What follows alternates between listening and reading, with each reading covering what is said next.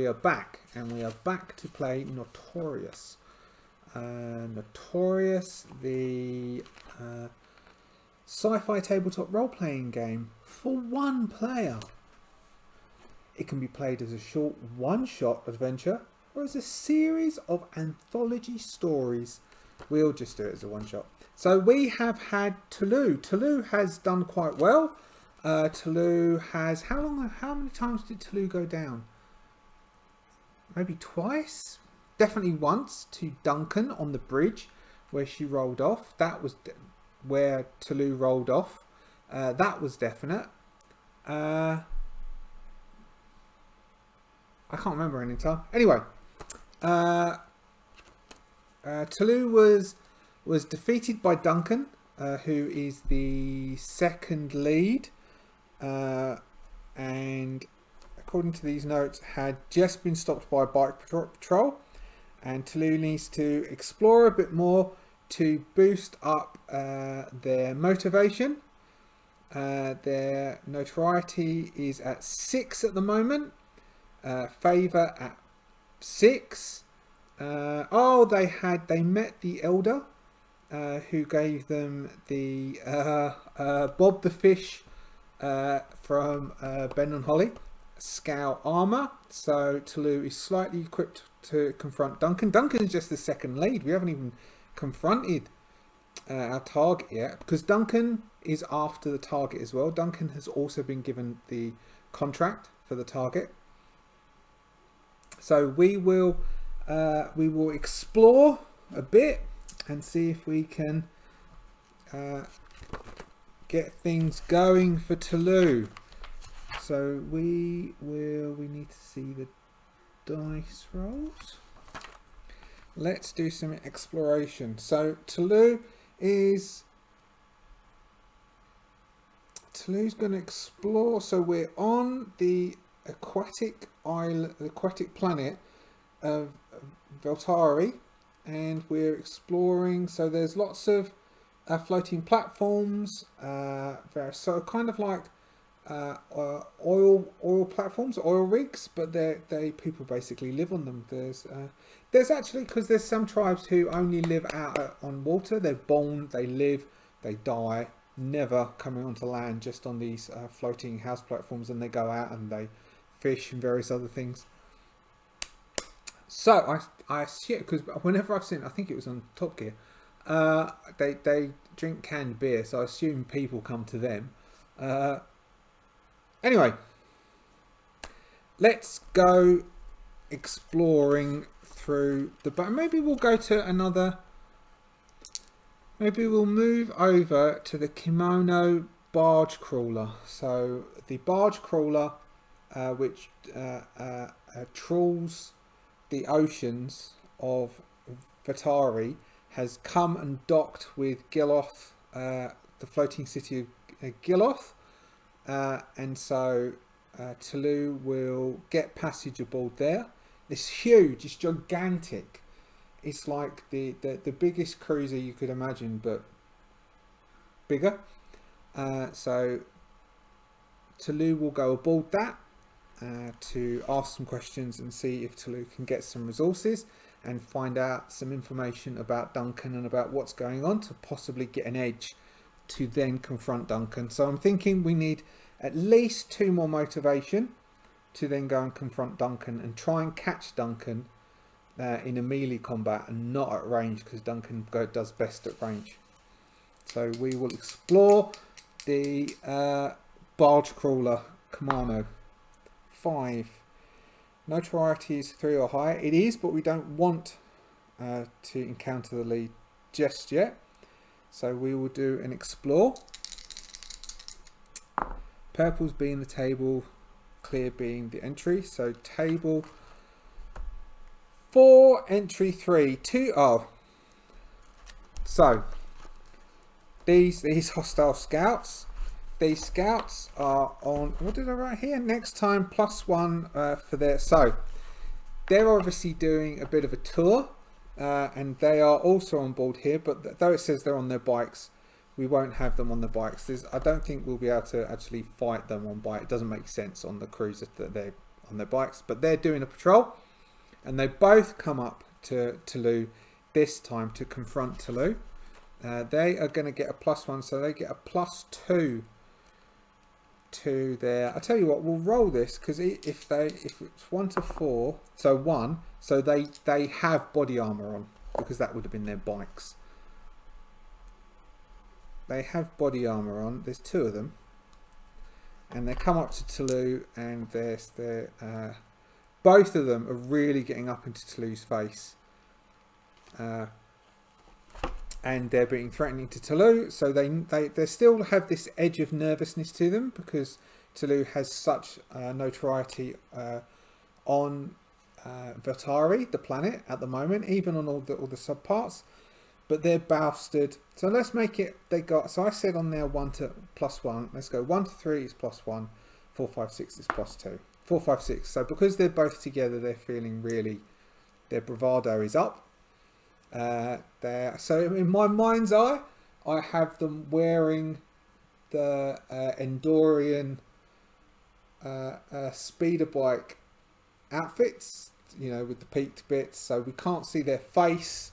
And they're talking through. They have uh, breathing breathing masks, so we don't know. Uh, maybe they are an aquatic uh, race, so they have uh, a breathing uh, aid, which is why they're wearing complete facial masks. Uh, their batons are in hand. They're doing the whole really, really giving it massively. Uh, so they're going to get a plus two. So they get a plus three to this, and I have a plus three to this. So this might end up into a fight. Uh, no, it doesn't. Uh, I edge out by one point. Uh, even then, so they're really pushing in the chest. And so uh, uh, pushes one back who tumbles backwards. The other one looks like he's going to start something. And at that moment, there's a little scuffle down the corridor. And, and if you can imagine it through, if I had batteries in that uh, clone trooper helmet, I could use that to do a nice uh, electronic voice. We'll be back. Don't move from this spot. And they, he, the other one sort of gets to his knees uh, and shakes shakes his head a bit, and then they both dash off down the corridor to deal with the, the fight that's starting down there. And Toulouse just rolls off the wall and, and wanders off around the corner. Let's see where Toulouse, what destination Toulouse. Toulouse goes uh, into a, a, a, turns a corner that they haven't turned before, and they walk into. What do they walk into? Uh, Toulouse walks into so it says bustling market. Well this is the scrap crawler so maybe there's a small stall uh, with quite a few people hanging around it. Uh, oh uh, and the stall is selling good luck charms uh, and small little vials of, of uh, magic potion. Uh, so Toulouse is going to pick one up and get a plus one motivation so a few lucky charms because Toulouse, Toulouse is one for charms and clips them onto their belt with the teeth. So I'm going to put plus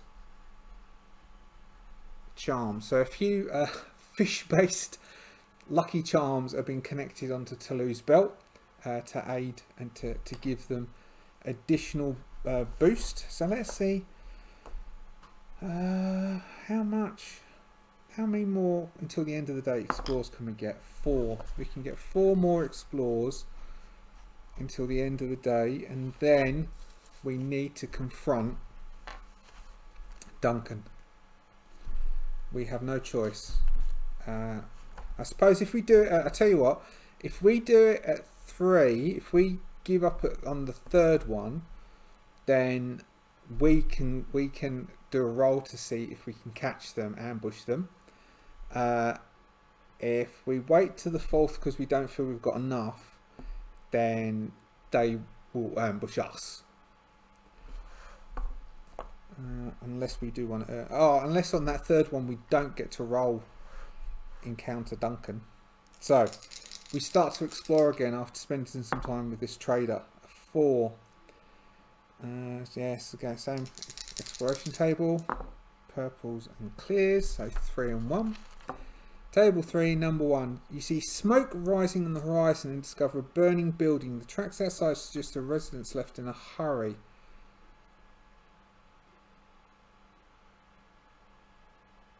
Alright, let's roll. So this would then, so this won't be, uh, this will be whilst wandering around we go into a residential part of the massive barge.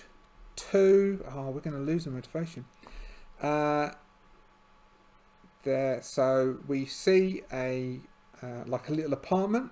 It's gutted with fire. Uh, and there's there's a, a the, the we can see that there's all clothes and things strewn all over the place. Uh, in the front all as though uh, the residents left in quite a hurry. And we oh, okay so it says why do the flames remind you of your trigger? What was what's our trigger oh lost a jewel. Yeah i think it would more it would remind us of our origins and the planet being at war.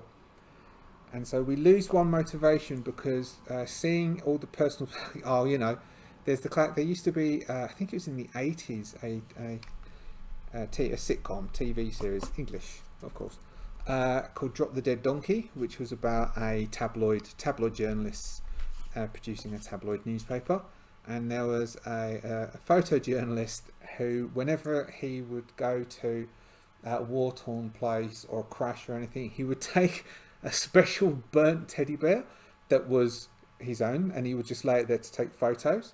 Uh, but there is a little burnt teddy bear uh, outside, just leaning against the door frame, but upside down, as though it's been dropped in a hurry, which uh, makes Toulouse sad as they remember all of the children who lost their lives in, at the war.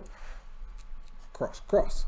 Oh gosh, we're going to have to fight him at, at range, aren't we? Uh, so after we see this, uh, where do we then, we wander uh, aimlessly and we end up, oh, we end up at, at a fortified base.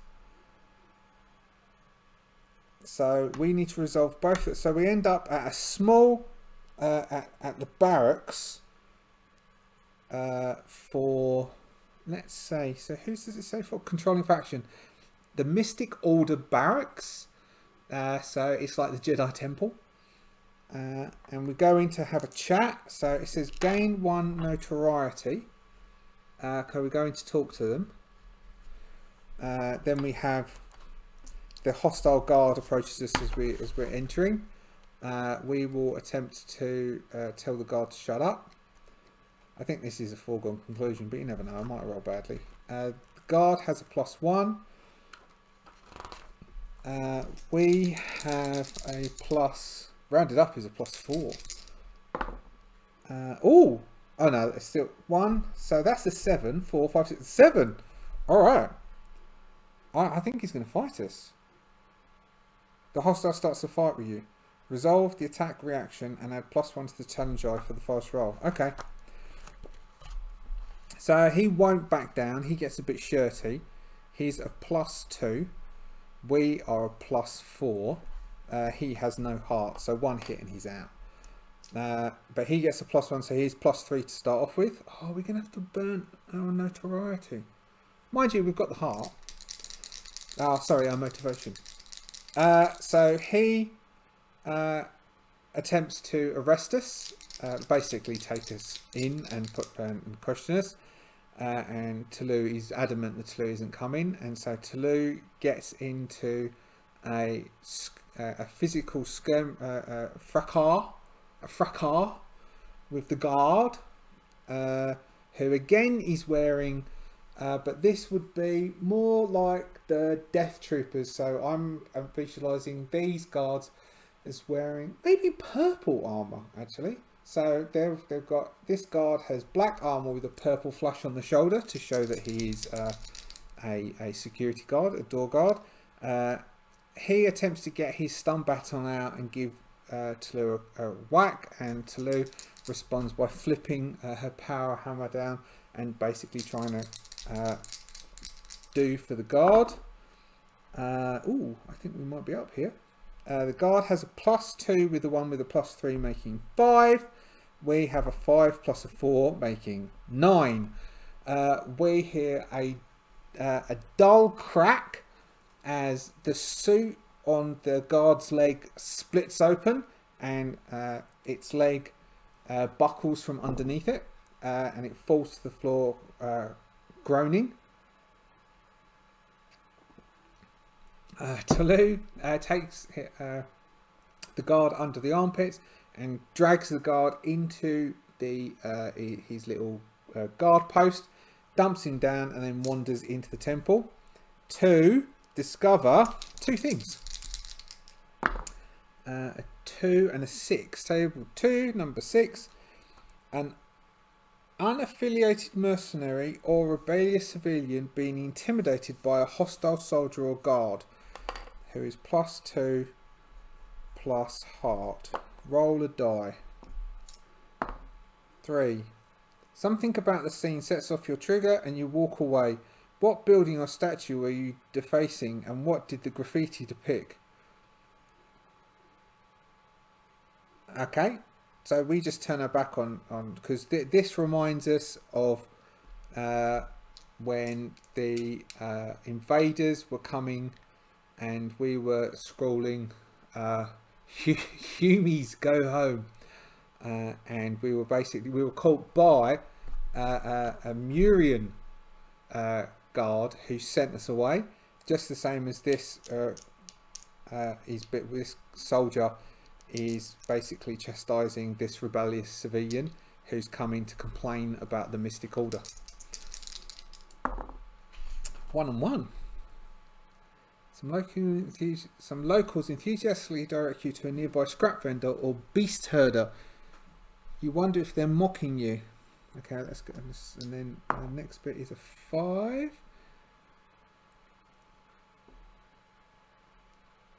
Okay, all right. So there's so we're so uh, one of the people visiting the Mystic Order is is a, a dolphin trainer. Uh, and the dolphin trainer is in a queue and looks quite interesting and notices notices our uh, Bob the Fish Scouse shirt and says, "Hello, is that there a Bob? Is that a scale of the Great Bob?" Oh, my lovey. Hello, my lover. Is that there? Is that there? My lover? Is that a, a scout? Oh, I could try. I'll try Liverpudlian. Aren't they like? Is that Bob like? Really need to practice my. So let's let's try and uh, let's try and recruit this this uh, dolphin dolphin trainer who uh, has uh, a bizarre accent. Maybe it's because I'm tired. Uh, so my favour is six. Half rounded up is three. Uh, oh, already a six. So I beat it anyway with a nine.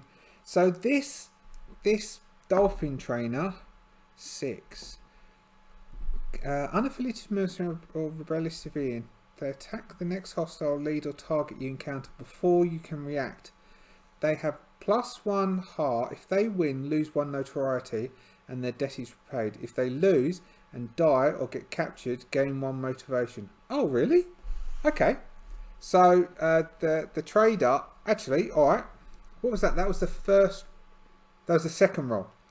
So the the the trader has has offered, knows where Duncan is, uh, and Duncan cheated him out of uh, so this is Dolphin Trader. What times? Oh yeah, we might be able to get this in. The Dolphin Trader, uh, Duncan che cheated the Dolphin Trader out of some money, and and, and this trader is is furious and insists on coming with us uh, to hunt to hunt him down. Uh, if they win minus one notoriety if they die plus one motivation. So this says they will attack the next hostile, lead or target we encounter before we get a chance to react. They have plus one. If they win, okay. Well, they're not going to win against Duncan, but you never know and then we could step in afterwards. So they're going to follow us as we do our last explore and then, like it or not, we're going to go find Duncan. We're going to identify where Duncan is, and we're going to attempt to ambush Duncan to the best of our ability. And I don't know how. I'll I don't know how I'll work out if we successfully ambush Duncan or not. All right, exploration table. One.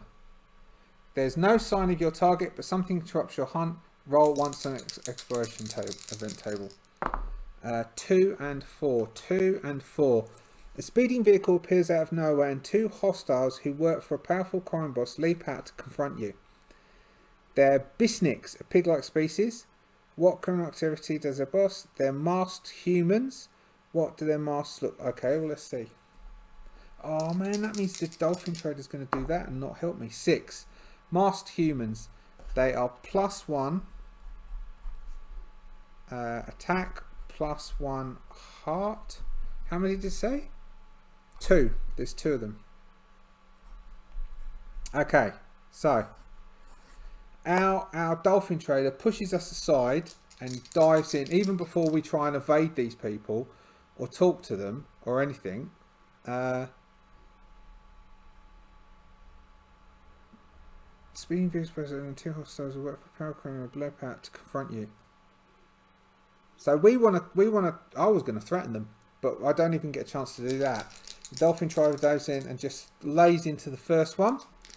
Uh, they're both plus one. Dolphin, tra Dolphin Trader, Dolphin Trader gets stabbed up. Uh, we lose one notoriety. Dolphin Trader gets stabbed up and is left on the side of the road as they turn uh, to confront me. Uh, the first one steps in as the other one is searching the body of the dolphin trader. That works better. I have plus four as I come cleaving down with my power hammer. Uh, these is so my arm and my bobs don't help me. Uh, I get a six plus four. He's plus one, so he gets a six. So oh god, don't say these two people are going to so I lose my heart. Uh, then the other one comes in. Oh no! Okay. I am going... Oh man, that's... So if I use my last motivation, that means I can re-roll one dice. That means if I re-roll the purple... Oh, the re-roll the purple dice. So they at the moment have seven, and I have five. If I re-roll the purple dice, it is possible to beat their seven. So I will use my last motivation uh, to re-roll the purple one.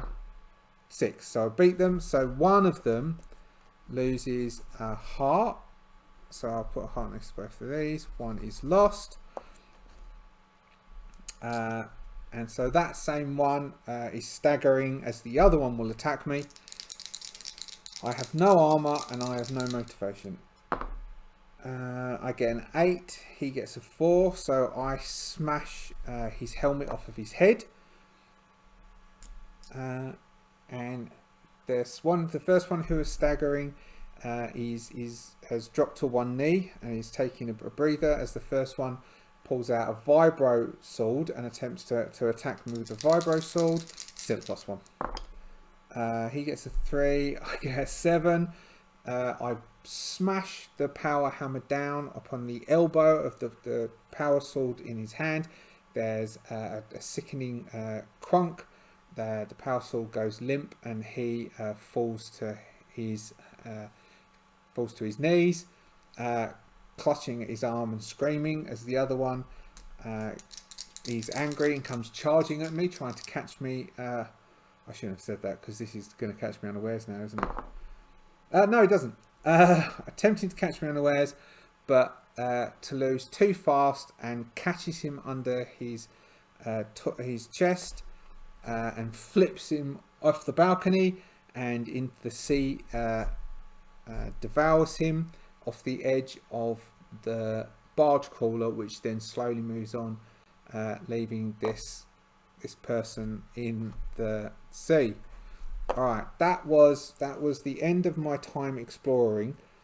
I can confront Duncan, but I confront Duncan with no motivation and it's just going to be me versus Duncan. I think we're going to just think, yeah, we're going to do that. In the closing bits of this, we will confront Duncan. Uh, tired, battered, the end of the day, covered with a slight sheen of rust from the uh, trawler and from the different places that Tolu has spent the day. Tolu has been told that in this tiny little uh, bar, uh, it's an illegal bar, which is basically the, the actual bar is made of cardboard boxes stacked up, and uh, everything is sold uh, out of uh, special cans where you pull and the lid comes off. So it's, it's basically it's one of those one of those little backstreet bars which only sells cans. Uh, and as Tolu walks in, uh, they can see clearly that the only human uh, sitting feet up on bar, feet up on the bar, cardboard box, uh, with new shiny spurs that they're sort of spinning, making that tinkling noise, uh, absent-mindedly supping from a can, uh, is Duncan. Uh, Tolu tries as quietly as they can, which isn't very quietly, to get up to Duncan uh, and to get into Duncan at uh, melee distance. Uh, let's do a favour roll. Uh, so I'll do half favour, which is plus three, and we'll say Duncan has a plus one because he's paid people here. So I'm not going to give Duncan a zero on the challenge dice. If I succeed, I get straight into Duncan, and Duncan has to go straight into melee with me. If I fail, then uh, Duncan is going to be able to get a shot off on me, uh, which might just strip me of that heart because Duncan's uh, range is much better than mine is. So, purples. I get a, I get a nine. Uh, Duncan gets a four. I sneak up to Duncan. People see me sneaking up, but they they don't acknowledge anything and they don't warn Duncan that I'm coming. So I surprise Duncan by a power hammer coming smashing down on Duncan and Duncan rolls to try and respond to that. So Duncan has, I wrote this down, didn't I, last session, the other week. Uh, Duncan has a stun baton, which is plus two for the first round and plus one thereafter. Duncan also has, and I remembered this, he has one heart like me. So I have one heart, he has one heart as armour. Uh, human Duncan LaFoe. He's the cocky scoundrel. Uh, okay, so power hammer to Duncan. Hopefully, Duncan gets a plus two. So like lightning from underneath. Uh, uh, let's say he's changed. He, I said duster. I think last time. I remember using the word duster. It's now now I'm imagining a poncho. I'm imagining he was sitting there like basically just just I swear words that I probably shouldn't use on on YouTube. Uh, it's just exuding that like oh god. Uh, really wants to hit him with this hammer. Uh, oh no, Tolu might not get to. So Tolu rolls a four, five, six, seven. Oh man. Uh, and Duncan gets an 8. And I don't have a motivation to re-roll. Uh, but I do have, because this is, I do, okay, I do have this. So uh, I forgot about this. So Duncan jams uh, uh, uh his uh, stun baton up, blocking the hammer and turning and striking uh, Tolu's chest place with the scale of Bob the fish that Tolu completely forgot about, but there's a, a cracking sound, uh, and the, the, the scale is split in half, and one half falls to the floor, enraging Tolu, uh, but luckily uh, saving Tolu. Oh, that's gone. So Tolu will retaliate with the power hammer, attempting to uh, knock this hat and this cocky smile off of Duncan's face. Oh, yes. Nicely, nicely. So for that, Duncan only gets a plus one. Uh, and Tolu gets nine. Uh, so The hat is ripped off of Duncan's head. Uh, the uh, poncho gets split. The hat falls to the floor. And Talou makes sure to maneuver over and pound their big, massive, hefty hobnail boots right into the hat, tearing it into shreds. Duncan, you shouldn't ever have mocked me. You shouldn't ever have come to this place. You know this contract's mine. Uh, so with that, they circle each other again, uh, and Duncan bounds in with the baton, attempting to strike. But Duncan doesn't have a chance against this power hammer. He really doesn't. A 10 versus a 4. As Duncan comes in, uh, Talou cracks down upon uh, uh, his shoulder, dislocating it. I've said crack every single time, so it doesn't make that sort of noise. It makes a sort of noise as it comes out. Duncan screeches. Uh, Talou uh, swings and knocks Duncan's uh, uh, upper jaw as Duncan flips and lands, cracking his head against the bar. Now, what does Talou do? Because there's a thing, isn't there, for, for the combat, which I don't think I did last time. But I get stuff. Get stuff, innit? It gets stuff. Success against a hostile or lead. Choose your opponent's fate. If I spare them, I get one favour. Or I can kill them and get one... Well, I don't think I like Duncan very much. So I think even though getting one favour might be useful, uh, I think Talou is going to uh, drag Duncan out of the bar uh, whilst first fishing into uh, his uh, jeans, pulling out his wallet uh, or his cred chip, uh, and then flipping the cred chip to the bar and say, next round for everyone is on him.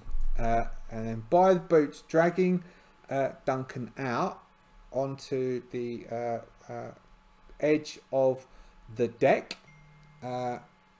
Going to search Duncan for any clues and is, there's going to be some information on the target. So Duncan's Duncan's digipad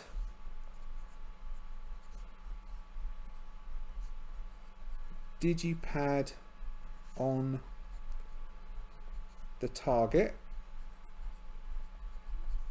uh, which, which is Fez.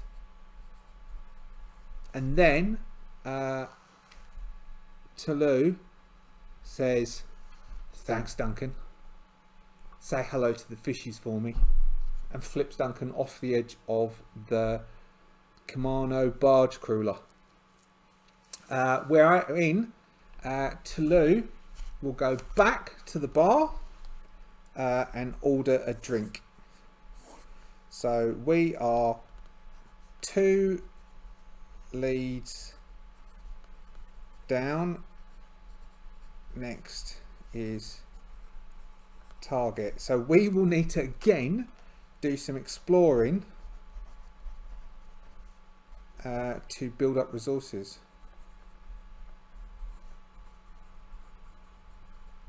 Wow.